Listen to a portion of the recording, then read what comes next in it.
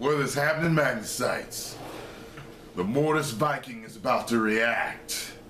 This one is X-Men Days of Future Past Magneto Power Piece.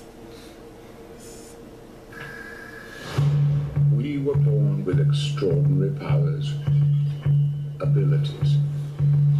The next stage in human evolution.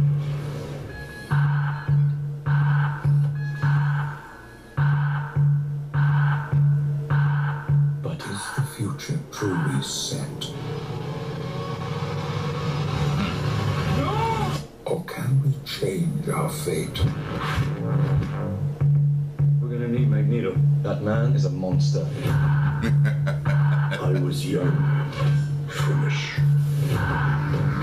There is a war coming, and we need to strike now. Tear him apart, Magnus. Trust me.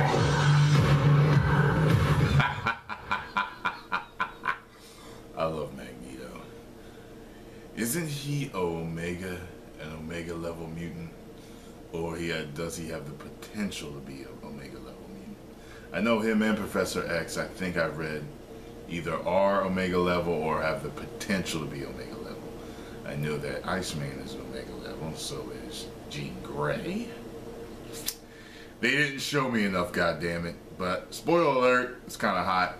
It showed him taking out guards, just waving his hand. You seen that in the preview on the street, and uh, it also showed him um, manipulating two, you know, balls of uh, metal, and just knocking out two guards against the walls. That was kind of hot. I can't wait for this movie to come out.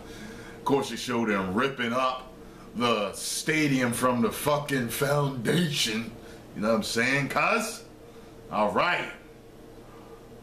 One million subscribers.